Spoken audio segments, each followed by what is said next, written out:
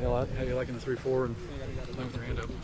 I like it better, man. It gives me a mu- much more freedom to diagnose offenses. You know what I mean? I could tell if a tackle's coming to me or a running back's coming to me, they the back some of our backs they look where they're going. You know, just like other teams they look where they're going. But uh, I like it a whole lot. It gives me a lot more freedom to do what God has blessed me to do. Are you working more with your hand up or hand down at this point, or It's kind of 50-50. You know, we go some some three four stuff, some four three stuff. So um, it's kind of 50-50 right now. what's your sense of how it's going to go during the season? I think it'll be good, you know, because teams can't just key on you. You know, with the four three, they can just say, okay, we're gonna line up and just go right here at him. But with the three four, I can be to the left one time, to the right one time, or maybe even the middle sometimes. Um, but and that's the thing that, that Coach Muschamp does a great job of it. I thank him for putting it in.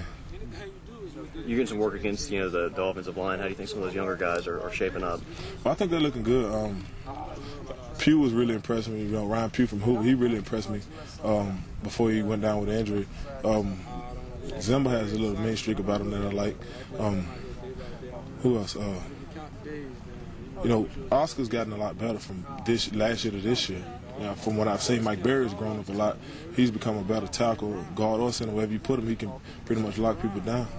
When you get everybody in, in full pads and everything, does it start to feel maybe a little bit more real than it does when you guys are in shorts or in shells? Not for me. Um, it, it's a mindset. You know, all these are pads. You know, and my philosophy is whenever I step between these lines, it's full speed in anything I do. Um, we, like I said, we've been hitting since we first got out here. So it's, it's not it's not nothing but pads on. Just what's your general sense about the defense, second year under Coach Muschamp and the system? Just where do you guys stand right now? I think we're we're we're, we're further along than we were last year, but we're not there yet where we need to be um, to play Kansas State. I think through the rest of these practices, we should be okay. What, what are the areas you feel like you improve?